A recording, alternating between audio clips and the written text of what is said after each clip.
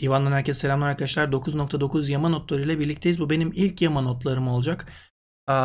Biraz böyle ağzım burnum yamulabilir, kelimeler karışabilir ama onun kusuruna bakmayın. Şimdi birkaç değişiklik varmış. Hatta bu bu senenin en büyük en büyük yamasıymış öyle deniliyor. Aatrox ve Tamkench'e büyük değişiklikler getirmişler. Aynı şekilde gözden geçirilen bir Soraka varmış. Başka ne varmış? Görsel efekt değişiklikleri var. Mesela eşte falan Blitzcrank'te onlara da bakacağız.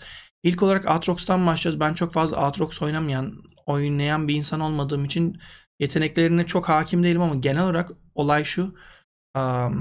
Aatrox alıp ulti açıp ortalara dalıyorsunuz ve işte siz ölüp tekrar dirilirken takım bayağı bir zaman kazanıyordu falan. O arada bir iki kişi öldürdüyseniz o da size kardı. Bunun önüne geçmek istemişler.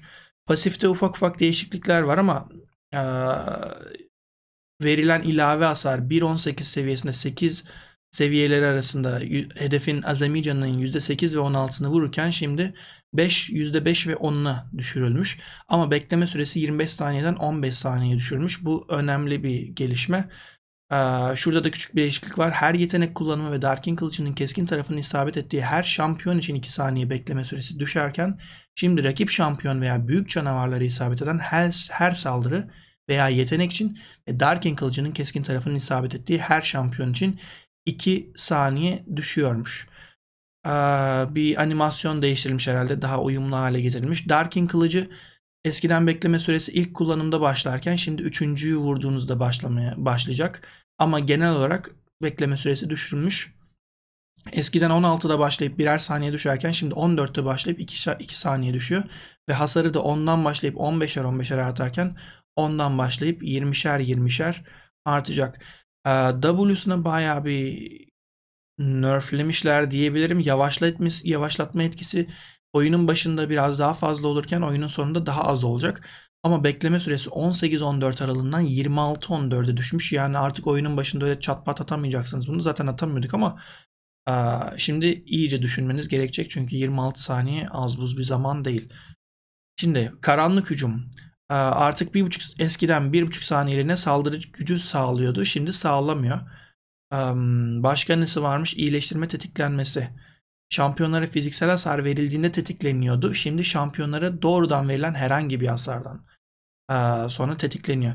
Dünyaların sonu işte bu biraz karışık olan yer. Biraz Atrox oynasaydım herhalde daha fazla hakim olurdum.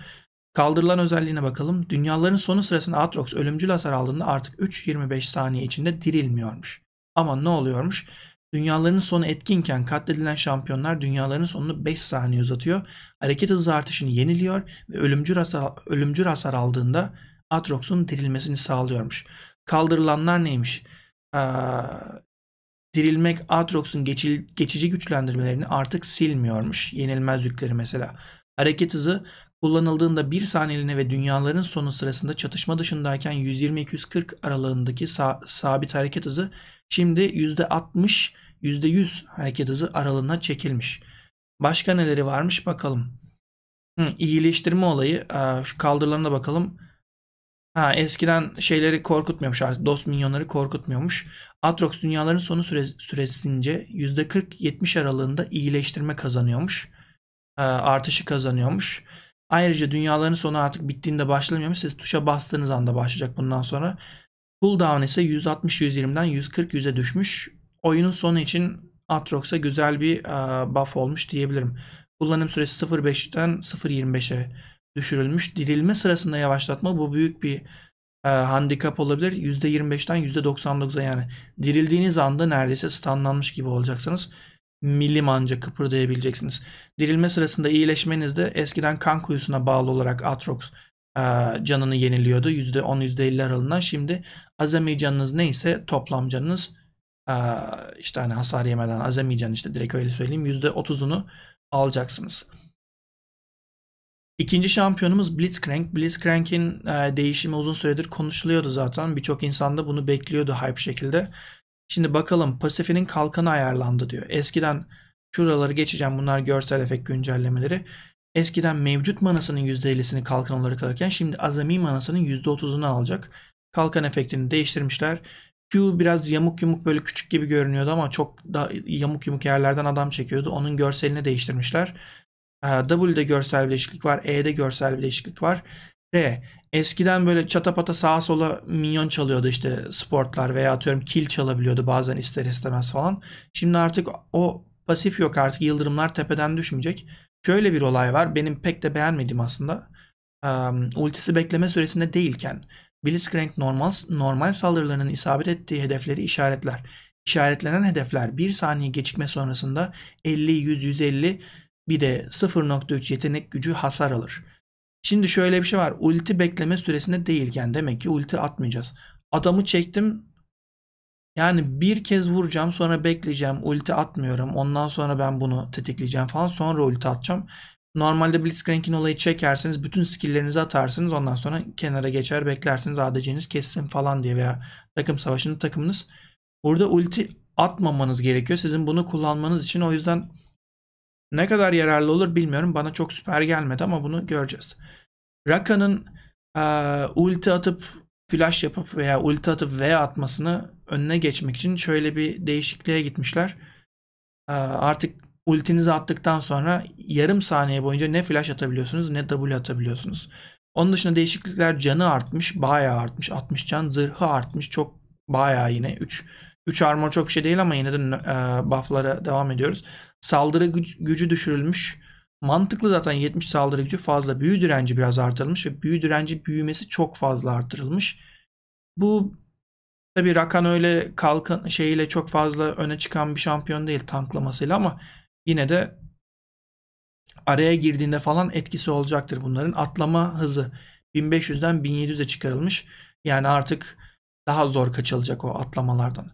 Soraka. Soraka'da da birçok değişiklik var. Uzun uzun burayı anlatmayacağım. Hemen şöyle geçelim. Q'nun neyi değişmiş? Bütün yeteneklerde bekleme süresi 5 iken şimdi 8'den 4'e kadar. Oyunun başında Q'yu daha az atacaksınız. Ama oyunun sonunda daha fazla olacak. Aa, oyunun başında zaten Q çok daha etkili olan bir şampiyon. Aa, işte lane'de can kazanmanızla, rakibi dürtmenizle falan. Oyun sonunda öyle E'niz iş yapıyor, W'niz iş yapıyor. Tabii ki Q da güzel slow ile beraber ama aa, diğerlerine göre etkisi düşüyor. Şimdi yenilenmenin Soraka'yı Soraka iyileştirme ve takım arkadaşlarını iyileştirme miktarı hmm, bu 88'den 140'a çıkmış son halinde. Bu da son halinde 110'dan 140'a çıkmış. Gayet güzel, gayet güzel. Zaman içinde iyileştirmesi süre boyunca eşit olarak tetiklenir olayı kalkmış. İlk tetiklenmeler sonraki tetiklenmelere göre daha fazla iyileştirir demiş.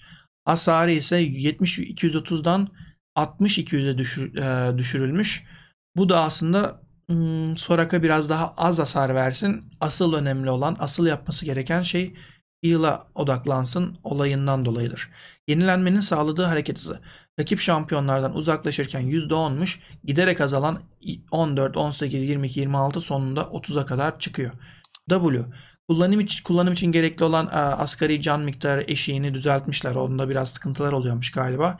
E'sine bakıyoruz 24-16 aralığına 20-16 aralığına düşürülmüş. Oyunun başında aslında bu çok dikkatli kullanılması gereken bir a, skill. Çok bir tık daha artık kafası rahat atabilecek artık bunu Soraka. Bedeli ise 70'ten 70-90'a çıkmış. Oyunun sonunda 90 çok da şey sıkıntı değil zaten. Dakika başı attığınız bir skill değil. Hasar ise 70-230'dan 70-170'e düşürülmüş. O da aynı şekilde aa, sen hasarcı değilsin. Git sen heal yap olayı. W'de bir şey varmış ipucu yazıyor. Artık dileğin az cana sahip takım arkadaşlarını ne kadar iyileştireceğini gösteriyormuş. Hmm. Yanlışlıktan sonra geri döndüm arkadaşlar. Tam, tam Kench'te de çok büyük değişiklikler var. Ee, tam Kench'in bu turnuva maçlarında şurada burada oynanırken en büyük olayı rakibiniz herhangi bir stun yediğinde şu olduğunda bu olduğunda küçük e, canı az kaldığında kritik durumlardayken atlıyorsunuz alıyorsunuz veya flashla çıkıyorsunuz falan. Bunun önüne geçmek istemişler. Atıyorum hani 0.70 bile oynasanız veya atıyorum ne olursa olsun sadece bu yetenekten dolayı seçilebildiğini söylüyorlar veya atıyorum rakibi yutma olayından dolayı. Şimdi bakalım. Diyorlar ki bu arada bunu kısıp diğer yeteneklere bufflıyoruz demişler. Canı 540'tan 600'e yükselmiş. Can büyüme oranı 102'den 100'e düşürülmüş. Hareket hızı ise 10 artmış 335'ten 345'e. Pasif Ee, ilave hasar %1.25-1.75 aralığından her seviyede 1.5'a çekilmiş. Dil yarası bir 2 saniyelik bir yavaşlatma süresine ulaşmış artık. Yarım saniye daha fazla yavaşlatıyor. Eskiden her seviyede 5 saniyeken şimdi ilk seviyelerde daha yavaşlatacağız. Daha yavaş dediğim hmm, daha uzun sürelerde e, bekleme süreleri geri gelecek. 8'den 4'e kadar düşüyor ama en son seviyede. E, late game'de biraz daha işe yarayacak. Dil menzilini 800'den 9'a çıkarmışlar ve yavaşlatma etkisi bu önemli. E, belki 8 saniyede bir atacağız ama %50 yavaşlatma ve 2 saniye boyunca yavaşlaması rakibin çok çok çok önemli olacak. Ama oyun sonunda yine %70'e ulaşacak. W'su şöyle bir durum gelmiş artık. Tam Kench artık yere saplanarak ve %95 yavaşlıyormuş. Yere saplanacağız herhalde artık. Ee, takım arkadaşınızı yuttuğunuz anda öyle standlı bir şekilde duracağız böyle yerimizde. Başka bir şey yapamayacağız. Ee, bu biraz da takım arkadaşlarını kurtaramayacağımız anlamına geliyor. Sadece standdan kurtarırsınız belki ama alıp adamı flashla atıyorum duvarın üzerinden atlayıp safe bir yere götüremeyeceğiz. Bedel ise 60'tan 100'e çekilmiş. Bekleme sürelerini 28-16 aralığından orta seviyeye çekmişler 20'ye. Minyon tükürme hasarını 100-300'den 100-240'a düşürmüşler. Ve hedefin azami canının eskiden 20-%36 aralığında vururken şimdi normal olarak 100-240 aralığında vuruyor ve azami canının da %5 ile 13 arasında vuruyor. W'ye baya baya büyük bir nerf gelmiş yani. E'sine bakıyoruz. Gri, gri canının %15'i %35 aralığından şimdi 20-40 aralığına e, iyileştirme miktarı çekilmiş. Kalkan ise %70-90 aralığından 80-100 aralığına çekilmiş. Gayet güzel. Artık 50 mana harcamıyormuş. Bedelsizmiş. E, hmm. Ha, bu güzelmiş. Oyun başında gerçi hani çok da mantıklı yani bunun zaten mana harcıyor olması. Ultiye bakalım. Lezzet yolculuğu menzili 4500 6500'den 2500 8500'e yükselmiş. Oyunun başında iki adım anca gideceğiz. Yani bir kuleden öbür kuleye gitmiyor yani. Bir kuleden belki yolun yarısına kadar falan gider ama oyunun sonu 8500 midden herhalde şeye kadar gider. Karşı e, Nexus'a gitmez tabi de. Tahminen belki midden işte karşı işte inhibitöre falan kadar gider. Cooldown'lar 120 yüzden 140-120'ye kadar yükseltilmiş. Baya büyük bir nerf yemiş tam Kench. Basit şampiyon değişikliklerine geldik. Akali. Görünmezlik bozulduğunda W'nün ek süresi azaldı diyor. Bekleme süresi ilk yetenek seviyelerinde arttı. Görünmezlik bozulurken sahip olduğu ek süre 3 saniyeden 2 saniyeye düşürülmüş. Bekleme süresi 21-13 aralığından 25-13'e düşmüş. Yani ilk seviyelerde baya kötü Akali'ye nerf gelmeye devam ediyor diyebiliriz. Darius. Darius'a ne olmuş? Q'nun iyileştirme miktarı ve hasarı artmış. Bakalım. İyileştirme. Baltanın keskin tarafı 1-2 3 rakip şampiyon isabetinde Darius'un eksik canının 12-36 e, aralığında kadarı iyileştiriyormuş. Zamanında Baltanın keskin tarafı şimdi 1-2-3 e, ve artı işte rakip şampiyon isabetinde Darius'un eksik canının %15-45 aralığında miktarını iyileştiriyormuş. Baya büyük bir değişim aslında. %45 inanılmaz. Azami canı mı bu? Ha eksik canı tamam. Hasar olayına da bakalım. 40-160 aralığından 50-170 aralığına yükseltilmiş. Diğer toplam saldırı gücü, ek saldırı gücünden gelen şey de bir değişiklik olmamış. Eko'ya bakıyoruz. Taban saldırı gücünü arttırmışlar 55'ten 58'e. E'nin de bu ileri doğru zıplamanızın şeyi de 40-80 manadan 40-60 manaya düşürülmüş. Oyun sonunda artık E daha az mana harcayacak. Ama oyunun sonunda AP hero'lar çok deli gibi mana sorunu yaşamıyor genelde.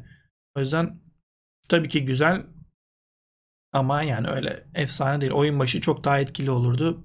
Eğer öyle bir değişiklik olsaydı. Yine de güzel birazcık Eko güçlendirilmiş. Ekarim'e bakıyoruz. Ekarim'in Q'su ilave hasarı yük başına %10'dan %5'e düşürülmüş. E ise Asgari hasarı 45-185 aralığından 45-165 aralığına düşürülmüş. Azami hasarı ise 90-370'ten 90-330'a düşürülmüş. Bir nerf'te Hekarim'e gelmiş ki Hekarim çok güçlüydü. Top lane'de çok fazla oynanıyordu. Jungle'da oynanıyordu. Mid'de oynayanlar dahi vardı bu adamı. Bir iyi olmuş yani bu nerf. Jarvan'a bakıyoruz hemen. Taban nitelikleri 571.2'den 570'e düşürülmüş. Çok saçmaymış eskiden niye böyleymiş. Manası 302,3'ten 300'e düşürmüş. Yine çok saçmaymış. Mana yenil yenilenmesi 6,756 iken 6 uçağa düşürülmüş. Yine saçma bir numaraymış. Arada böyle herhalde aa, tuşlara basıyorlar hangisi olursa falan. W altın kalkan. Bakalım. Hmm. Rakip şampiyon isabeti başına Jarvan'ın e, dördüncü Jarvan'ın Azami canının %2-3 aralığındayken şimdi kalkan rakip şampiyon isabeti başına Jarvan'ın Azami canının %5'i kadar kalkan veriyormuş. Demasya sancağının bekleme süresi 11 saniyeden 12 saniyeye yükseltilmiş. Cannon'a bakıyoruz. E'nin sağladığı ilave dirençler kalktı. İlave dirençler R'ye eklendi. Hmm. Aynen eskiden E'yi aç aslında E çok daha mantıklı bana sorarsanız. Ee, az çok Canon oynamış bir insanım ben de. E'yi açtığınızda içeri giriyorsunuz. O ara atak yapamıyorsunuz. Bir şey yapamıyorsunuz. Size kalkan lazım. Neyse. Eskiden 110 %10 ya 10-50 ilave zırh veriyormuş ve büyü direnci veriyormuş. Artık onu vermiyor. Yetenek kullandığınızda artık ultinizi açtığınızda 20 40 60 ilave zırh ve büyü direnci sağlıyormuş. Bana sorarsanız bu biraz artış gibi görünse bile çok büyük bir şey sayılmaz. Genelde zaten yaptığımız şey nedir? R'yi açarız, flash atarız, içeri gireriz, Zonya'ya basarız. Ultideyken zaten Zonya'nın içinde olduğumuz için hani bu çok fazla işe yaramayacak gibi ama öyle uygun görmüşler. Bir bakıma nerf derim yani ben buna. Kindred'e bakıyoruz. Pasif avcının damgası. İlk damganın ortaya çıkışı 2.05'ten 3.15'e yükseltilmiş. Bu biraz Kindred için kötü olmuş. Kindred için. Çünkü 2.05'te ilk yükü belki alabilme şansınız varken şimdi 3.15'e çıktı. Yük biraz geç olacak. Lisandra'ya bakıyoruz. Kırağı çemberi. Hasarı 70-190 aralığından 70-210'a çıkarılmış ve yetenek gücü artışı 0,3'ten 0,5'e yükseltilmiş. Küçük de olsa bir güzel bir güçlendirme olmuş. Hatta çok da küçük sayılmaz yani. Özellikle şuradan gelen oyun sonunda etkisi olacaktır. Maokai. Q'nun taban hasarı artmış burada da. 65-225 aralığından 70-250 aralığına yükseltilmiş. Küçük küçük ufak ufak yükseltmeler almış. Maokai ben çok fazla görmüyordum. Ee, yine Maokai oynayan insan oynar. Öyle o Maokai çok iyi olmuş kanka ben gidem de oynayan falan demez yani kimse. Morgana'ya geldik. Kara kalkanın değişiklik gelmiş. Bekleme süresi 23.15'ten 26.18'e yükselmiş. Kara kalkan çok çok güzel bir skill ama yani 26 saniyede kullanılacak da bir skill değil yani. O kadar da olmamalı bence. Neyse kalkan gücü de 70-350 aralığından 60-300 aralığına düşürülmüş. Morgana'ya da bir nerf gelmiş. Rek'Sai'ye bakıyoruz. Rek'Sai de son yamada çok güçlüydü. Saldırı gücünü birazcık kısmışlar 65.5'tan 64'e. Saldırı gücü büyüme oranı 3,35'ten 3'e düşürmüşler. Bu daha büyük bir uh, nerf diyebilirim. Gömülü Q. Bekleme süresi 11-7 saniye aralığından 12-10 saniye aralığına değiştirilmiş. Yani arttırılmış. Artık Q'ya da Q'nun süresi de artmış yani artık bekleme süresi. E'ye bakıyoruz. Asgari hasarı 55-95 aralığından 50-90 aralığına çekilmiş. Güçlendirilmiş gerçek hasar ise 110-190 aralığından 100-180 aralığına e, düşürülmüş. Yani Rek'Sai'ye ben daha fazla bir şey bekler miydim? Aslında burayı sayarsak çok da fazla daha gerek yokmuş. Burası iyi bir nerf. Aynen onlar da onu yaptı zaten çok fazla alınıyordu. Alınması gereken bir şampiyon olarak görülüyordu falan. Shaco ya da Sheko. Bir bakalım. W'su soytarı, soytarı kutusu. Kutu kutu pense. Arayıcı mercek soytarı kutusunu açığa çıkarır ve hemen etkinleştirirmiş. Soytarı kutusunu sadece açığa çıkartırmış artık. Hmm.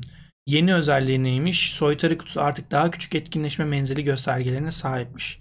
Shen'de de küçük bir değişiklik varmış. Saldırı gücü, saldırı oranı %2'den %3'e çıkartılmış.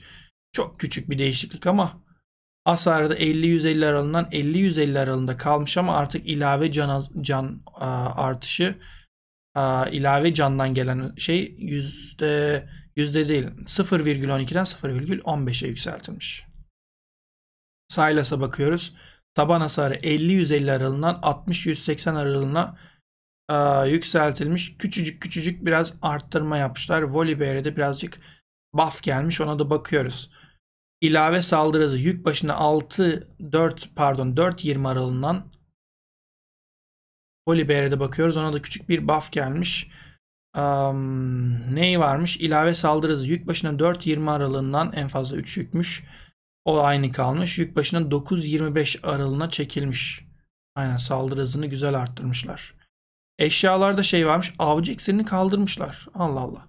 Avcı iksiri güçsüz ve oyuncuların nadiren tercih ettiği bir eşya. Mevcut ormanda gerekli olduğunu düşünmediğimiz için eşyayı kaldırıyoruz demişler.